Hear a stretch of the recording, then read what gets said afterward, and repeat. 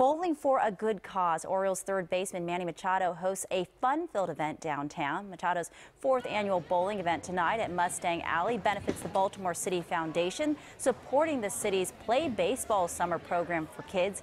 Last year's event raised more than $90,000. Machado was joined by teammates Wade Miley, Kevin Gausman, Jonathan Schoop, and a few more Orioles.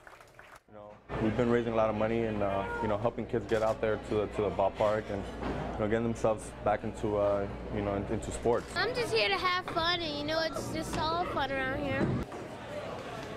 Each team of bowlers was paired up with a celebrity participant. Orioles fans at the event were able to bid on sports memorabilia during a silent auction.